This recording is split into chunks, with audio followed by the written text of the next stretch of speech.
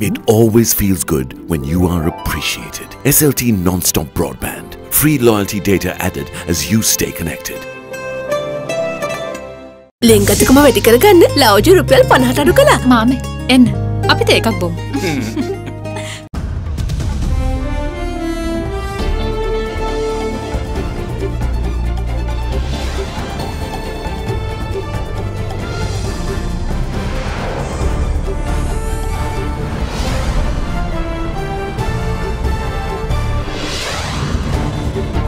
Tonight, pandemic panic. Authorities say still no confirmation of suspected local cases as government awaits Chinese clearance for charter flight to bring Sri Lankan students in Wuhan back home. Time for a change. Prime Minister Mahinda Rajapaksa says that the contents revealed through the Ranjan Ramanayake audio recordings fiasco are a clear indication of the degradation of society and the quality of its public representatives. A cleaner future. Qatari Clean Energy Minister meets with President Gotabaya Rajapaksa and promises his government's fullest support for countries switch to renewable energy. Disaster strikes. Earthquake in Turkey claims the lives of 29 and brings down 30 public buildings as rescue efforts continue to free the trapped victims. All this and much more coming up on this Sunday, the 26th of January 2020. From Ada Derana, this is Ada Derana First at 9. Basin එකෙන් කට්වෙන්න.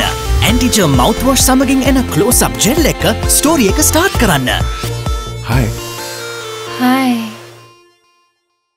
Live from Studio 24 in Colombo.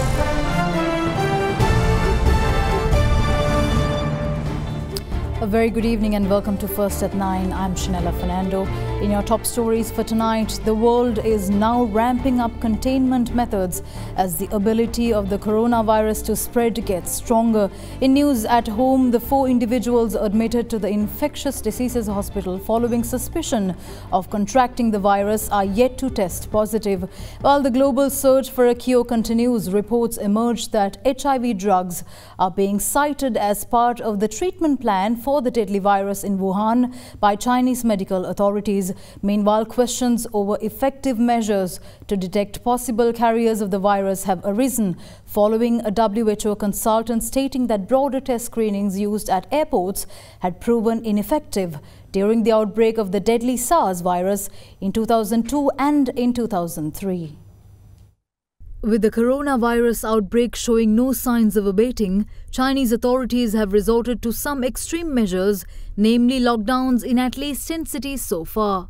In such a backdrop, President Gotabaya Rajapaksa issued directives to evacuate all Sri Lankan students living in China via a special charter flight. With the president's decision, we at First at 9 contacted the Sri Lankan embassy in China for an update on the current situation.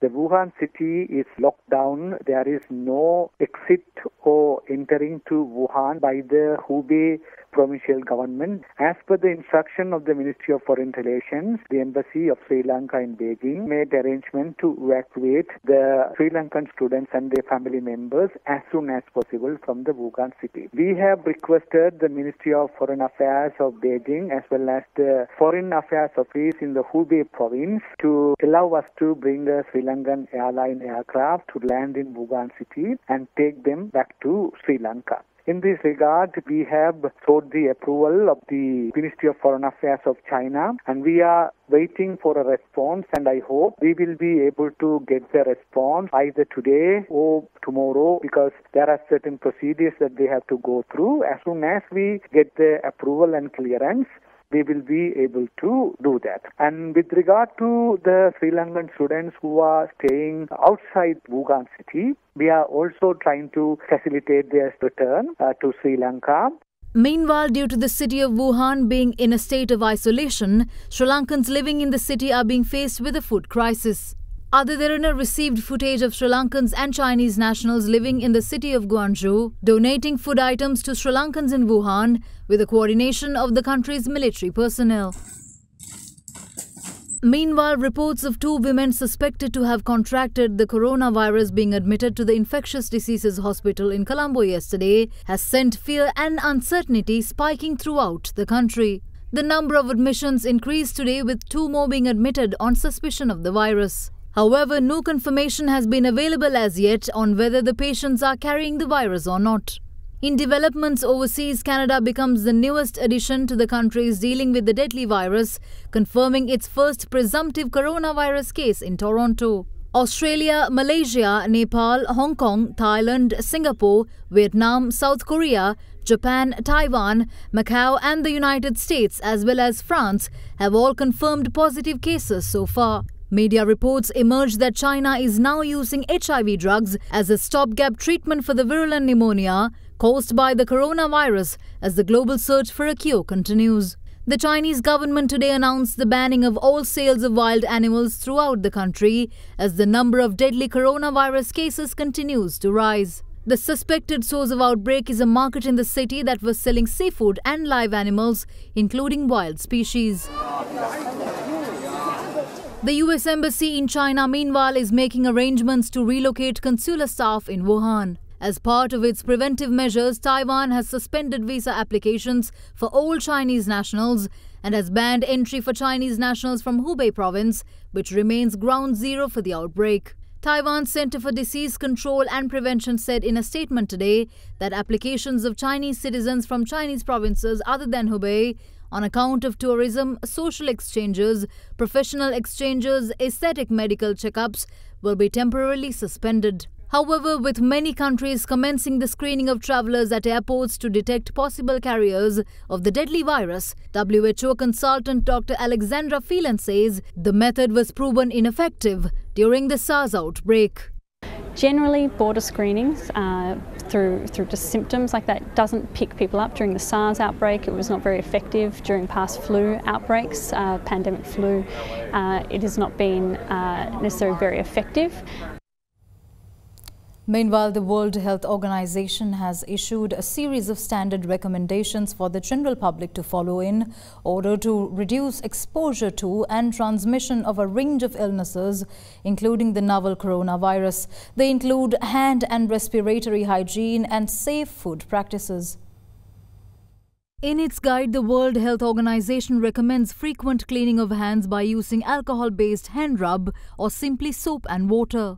It advises the public to cover their mouths and noses when coughing and sneezing with a flexed elbow or a tissue, while recommending that the tissue be discarded in a closed bin immediately, followed by the immediate washing of hands. It also advises people to avoid close contact with anyone who has fever and cough, and if you have fever, cough, and difficulty of breathing, seek medical care as early as possible and share your previous travel history with your healthcare provider.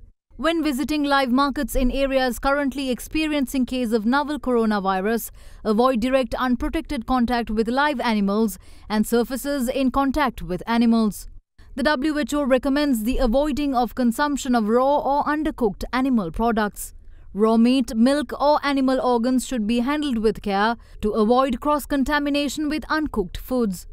The organization also recommends to avoid travel if you are down with fever or cough. If you become sick while traveling, the guide recommends that you seek medical advice as early as possible. Qatar's Minister of Clean Energy Saad Sharida Al Kaabi met with President Gotabaya Rajapaksa today and pledged that Sri Lanka would receive the fullest support from the government of Qatar to produce renewable energy within the country. During the meeting, President Gotabaya Rajapaksa expressed hope in furthering of bilateral cooperation among the two countries. Qatar's Minister of Energy Saad Sharida Al Kaabi met with President Gotabaya Rajapaksa earlier today at the Presidential Secretariat and iterated the willingness of the government of Qatar to help Sri Lanka begin the production of renewable energy. Minister Al Kaabi requested that the President appoint a representative of Sri Lanka to look into the matters pertaining to renewable energy production and also congratulated the President on his victory at last year's presidential election. During the meeting, President Rajapaksa nominated Secretary to the President P.B. Jayasundara as the country's representative on the issue. In order to explore methods of implementation of the proposal, the Minister of Qatar Saad Sharida Al Kaabi invited the Secretary to the President to visit the city of Doha in Qatar. President Gotabaya Rajapaksa said that Sri Lanka is willing to expand bilateral cooperation between the two countries and said that Sri Lanka is in need of extending its market for exports such as tea, both organic and non-organic vegetables and fruits. Expressing optimism over the discussions, the Qatari minister stated that it was the first step in furthering cooperation between the two countries. In one of your headline making news in the backdrop of the continuing Ranjan Ramanayake audio recording fiasco, Prime Minister Mahinda Rajapaksa says that the saga is an indication of the deterioration of the country's social values and the quality of its public representatives. He made these comments when he addressed an award ceremony in Matugama. An award ceremony organized in commemoration of former Minister Dayadi Pasquale worked off at the Division Secretariat premises in Matugama under the patronage of Prime Minister Mahinda Rajapaksa. තාබහට ලක් වෙලා තියෙන හඬපට දිහා බැලුවම සමාජයේ පිළිම විතරක් නෙවෙයි පාර්ලිමේන්තු පිළිම පිළිබඳව මහජන නියෝජිතයන්ගේ පිළිම අපිට පැහැදිලි වෙනවා. අපි එවැනි මහජන නියෝ ප්‍රධාන නියෝජිතයා යම් මේ තත්ත්වයට වැටෙනකොට සමාජයේ පිළියෙන එක පිළිබඳව අමුතුවෙන් අපිට කතා කරන්න පුළුවන් කමක් නැහැ. මේ තත්ත්වෙන් රට මුදවා ගැනීම අවශ්‍යයි. මේවා පිළිබඳව විශේෂ අවධානයක් යොමු කර දරුවන් පිළිබඳව අවබෝධයක් ඇතුව කටයුතු කරන්නට මම හිතන්නේ හැම අයම කටයුතු කරනවා නම් ඒක සමාජයට කරන ලොකු සේවයක්. Meanwhile, President Gotabaya Rajapaksa, Prime Minister Mahinda Rajapaksa and Minister Chamal Rajapaksa participated in an almsgiving held this morning to celebrate the birth anniversary of the chief incumbent of the Abhayarama temple in Narahenpita, Venerable Muruttattuwe Ananda Thera. Meanwhile, a cultural event named the Divine Quartet, organized by the Indian High Commission in Sri Lanka in celebration of the 71st Republic Day of India, worked off last evening at the BMICH under the patronage of Prime Minister Mahinda Rajapaksa, Madam Shiranti Rajapaksa, and Indian High Commissioner to Sri Lanka, His Excellency Taranjit Singh Sandhu. The event featured legendary Grammy Award winner Mohan Veena, instrumentalist Padma Pandit Vishwa Mohan Bhatt, Grammy Award nominee tabla maestro Pandit Suben Chatterjee, slide guitarist Sri Salil Bhatt, and drummer Sri Sambit Chatterjee. Addressing the event, High Commissioner Taranjit Singh Sandhu said that he was blessed with exceptional friendships during his tenures and reiterated his government's continued friendship and assistance.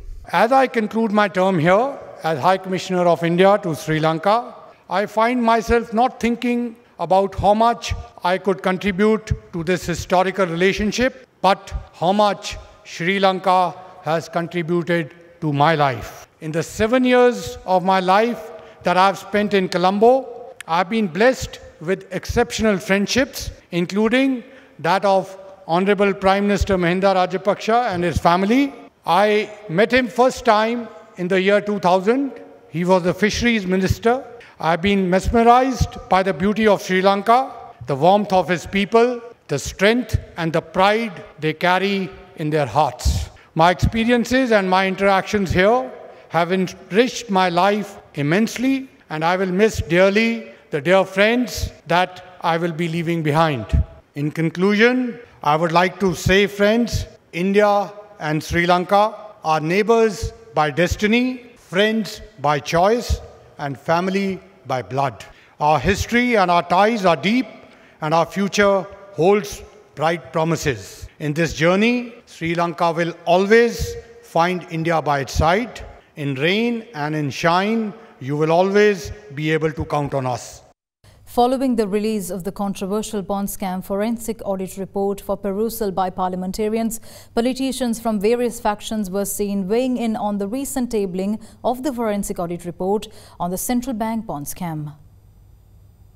වෝහාරික විගණන වාර්තාවක් ඉදිරිපත් කරා 2002 ඉඳලා මුදල් වංචා කරපු අය බැඳුම් කරේ හරහා දැන් විතර වෙලා තිබෙන්නේ ගෝඨාභය රාජපක්ෂ මහත්තයාට හරි පහසුයි මේ වාර්තා බලලා අර්ජුන මහේන්ද්‍රන් ප්‍රමුඛ UNP ආණ්ඩුව කාලේ බැඳුම් කරපුරුන්ටත් කබ්‍රාල් ප්‍රමුඛ රාජපක්ෂ ආණ්ඩුව කාලේ බැඳුම් කරවරුන්ටත් එක සැරේ දඬුවම් කරන්න ජනතා විමුක්ති පෙරමුණ මහ බැංකුවේ වාර්තාව ගැන විවාද ඉල්ලනවා අපි හාමුදුරනේ. හරියට මහ බැංකුව අපි හොරා කෑවා. මහ බැංකුව හොරා කෑ ඒගොල්ලෝ. ජීවිතේට ඔය එක්කෙනෙක්වත් හිරගෙදරට යන්නේ නැත. අර්ජුන ඇලෝසියස් මහේන්ද්‍ර. ඔය හොරු දෙන්නම දෙපැත්තෙම හොඳම බෙස් ෆ්‍රෙන්ඩ්ස්ලා. ඒගොල්ලන්ට මොන ආණ්ඩුව ආවත් ඒගොල්ලෝ බේරෙනවා. පුළුවන් නම් ඔය මේ අර්ජුන් මහේන්ද්‍රන් ගෙනලා දාන්නකො බලන්න. දාන්නේ Now, opposition leader Sajith Premadasa hosted a public event today for former provincial councillors, electoral organisers at a public rally conducted under the theme of Think New and Rise. He urged his supporters to move forward despite the party's setbacks, where all can speak with open minds according to their consciences. මෙතර වාඩි වෙලා ඉන්නකොට එක මන්ත්‍රවේයෙක් මාත්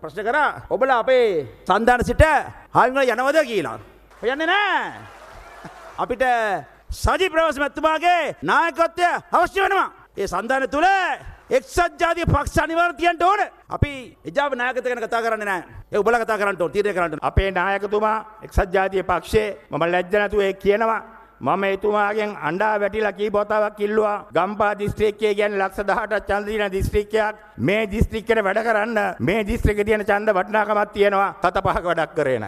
එතුමා දීගවාපියට මිලියන අටසිය පනහත් දැම්ම දීගවාපිය මිලියන අටසිය පනහත් දාලා මොනා කරන්නද. වටයින රිලවුන්ට කන්න බොන්න දෙන්නද. දෙදස් දහන මේ එතුමා උතුර නැගෙනහිරට බිලියන හැට තුනක් දැම්ම. බිලියන හැටතුමක් එක අවුරුද්දකින් වියදම් කරන්න පුළුවන්ද. කළමනා කරණය දන්නවනම් බුද්ධිමත්නම් ඒවා අවබෝධ වෙන්න ඕනේ. වැඩියම ඡන්දකියෙන් දිස්ත්‍රික්කවලට අවුරුදු 4 මාරටම බිලියන 10ක්වත් දැම්මේ නැහැ. සල්ලි දෙවුණා කිව්වට ජනතාව ඉන්න තැන් ඡන්ද තියෙන තැන් කොහෙද කියලා තේරුම් අරගෙනවත් අඩු ගානේ වැඩ කරේ නැහැ. ඊට අමතරව අපි කර විශාලම වර්ග තමයි බැදුම් කරයක් ගෙනාවා. ඒකෙන් අපි නැති වෙලා ගියා. උන් හොරගම් කරා කියලා කිව්වට අපි හොරගම් කරපුවා වැහෙන්නේ නැහැ. නමුත් අපි හොරගම් කරපු එක අපිට පිළිගන්න වෙනවා. ඉදිරියට යනවා නම් නායකතුමා හොරු නැතුව ඉදිරියට ගමනක් යන්න ඔබතුමා ලෑස්ති වෙන්න. හොරුත් එක්ක අපිට නැවතත් ගමනක් යන්න බෑ. අපේ පක්ෂේ ලොකු තැන් වල හුඟක් අය හිටියා රාජපක්ෂලත් එක්ක ඩීල් දානවා. රාජපක්ෂලා එක්ක ඩීල් දාන එවුන් මේ පක්ෂයෙන් අනිවාර්යෙන් අයින් කරන්න ඕනේ. ඔබතුමාට ගමනක් යන්න ඕන නම් නැත්නම් ඔබතුමා තතු ගෑවිලා යනවා. පාර්ලිමේන්තු බහුතරය ලබා ගැනීමයි අපේ ගමන. ඒට නායකත්වයේ ශක්තිය ලබා දෙන්නට අපි ලෑස්තිී කියන එක මේ අවස්ථාවේදී පැහැදිලිවම් ප්‍රකාශ කර. හැම තැනකින්ම ඒ රැව් පිළි රැව් දෙන අඳුගුණාවමකක්ද. ආයේ ගමට එනවනම් නගරට එනවනම් වෙනස් වෙලා එන්නට ඕන. වැරදි හදාගෙන ඉන්නට ඕන දැවන්ත බලාපොරොත්තුවක් රට පුරාවටම තිබෙන. අපි කිසිම දවසක කැඩෙන්නේ නැහැ බෙදෙන්නේ නැහැ. හැබැයි අපේ එකමුතුව දිනන එකමුතුවක්. ප්‍රතිවාදීන් එක්ක ඩීල් ගහලා ඇති කරගන්න එකමුතුවක් වෙන්නේ නැහැ. සදාකාලිකව පසුබෑමක් සිදු වුණා පරාජයක් සිදු වුණා. නමුත් අපි එක්ව ඉදිරියට යමු.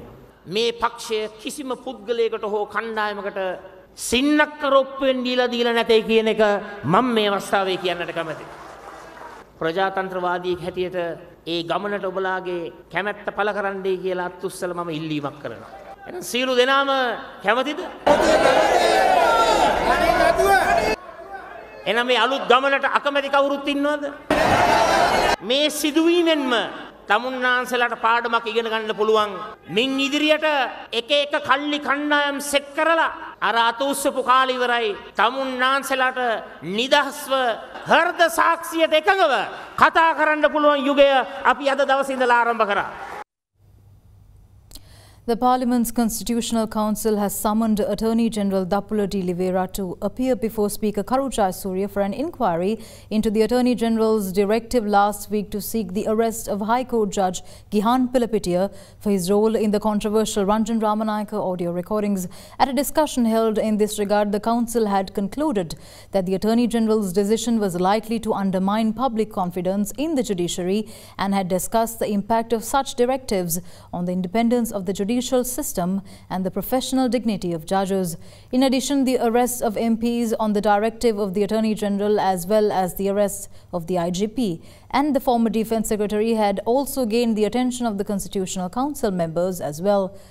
The Constitutional Council meeting chaired by Speaker of Parliament Karu Jayasuriya on Friday evening was conducted in the presence of Prime Minister Mahinda Rajapaksa, Opposition Leader Sajith Premadasa, TNA Leader R. Sampanthan, State Minister Mahinda Samarasinghe, UNP MP Thalatha Atukorale and civil society representatives as well as attorneys at law Javid Yusuf and N. Selvakumaran.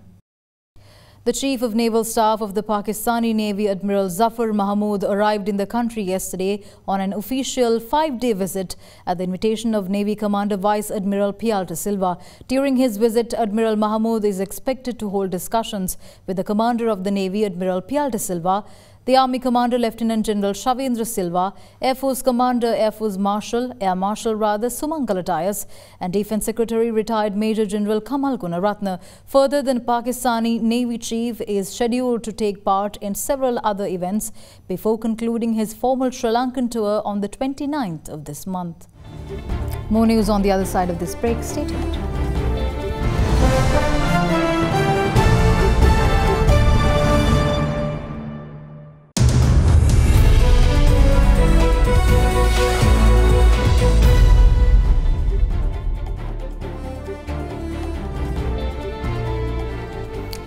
Welcome back. We are at first at 9. In your business news, according to the Sri Lankan Apparel Exporters Association, the country's apparel industry earned $250 million more than last year and will look to target a 6% year-on-year growth in exports for this year.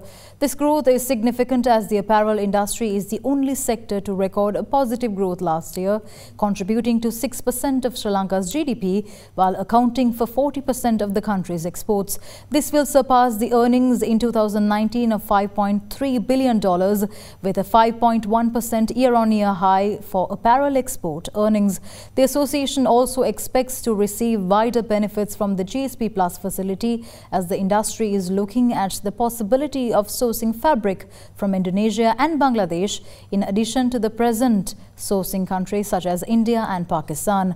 This keeps up with the plans to set up a 200-acre fabric park with foreign investments in collaboration with the Board of Investment in the Eastern Province. The fabric park is expected to be fully operational within two years.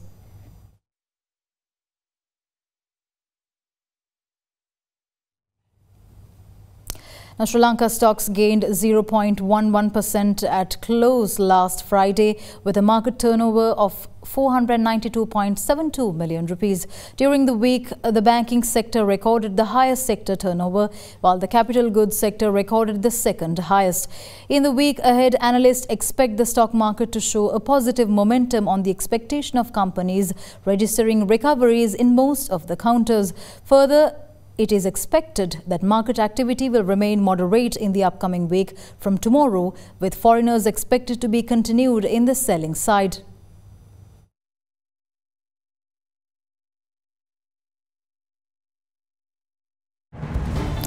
International and sports news is on the other side of this break. Stay tuned.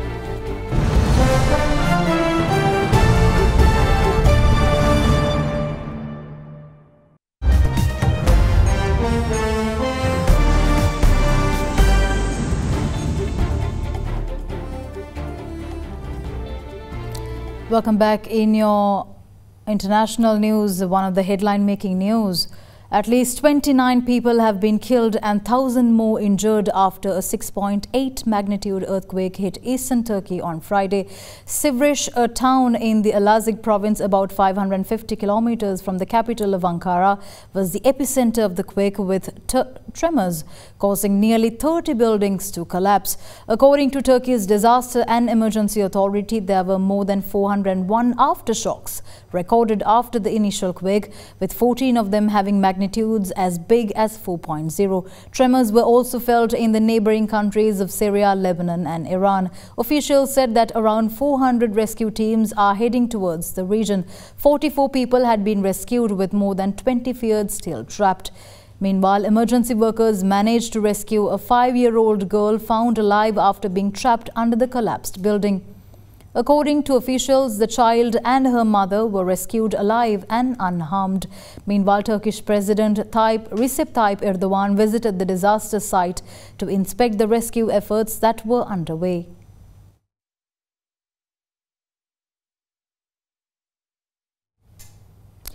With barely a week to go until the state's voters head to the caucuses uh, to nominate a candidate for the November presidential election. A new poll shows that Bernie Sanders has surged ahead of his Democratic rivals in Iowa. The poll found that Sanders has grabbed an increase of six points from a similar poll taken in October last year. With this, Sanders is now the first choice of 25% of the voters in the state of Iowa.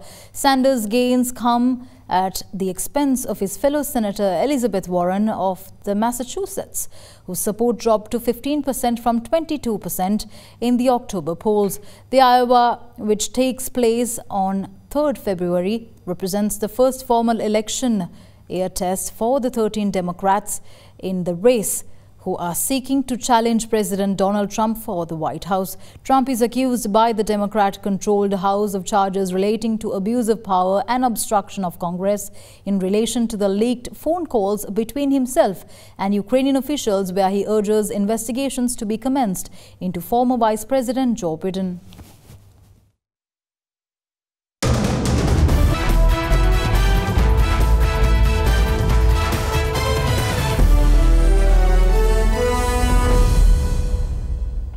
In your sports news, women's world number one Ashley Barty celebrated Australia Day with a win over American Alison Riske, making her way into the quarterfinals of the Australian Open. Meanwhile, the defending men's champion Novak Djokovic is also through to the quarterfinals after beating Diego Schwartzman in straight sets. Let's take a look at all the action starting from today. Home favourite and women's world number one Ashley Barty is through to the Australian Open quarterfinals for the second year in a row with a comeback win, defeating Alison Riske of United States 6-3, 1-6, 6-4.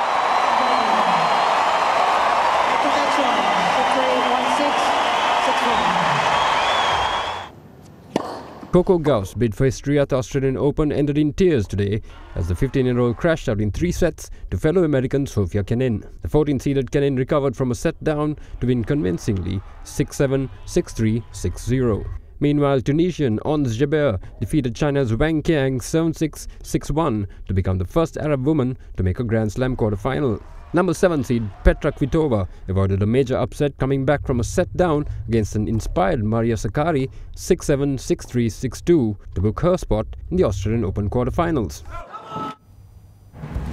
Well, with that, we wrap up tonight's edition of First at 9. Thank you for joining. I'm Shanella Fernando. Good night.